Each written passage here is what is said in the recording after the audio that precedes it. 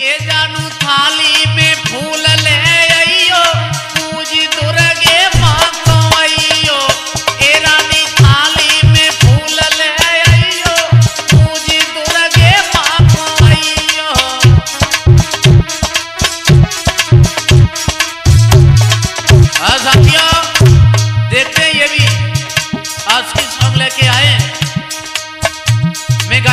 कृपा शास्त्री के बाद में सौरभ यादव करेल यूट्यूब चैनल के स्वजन से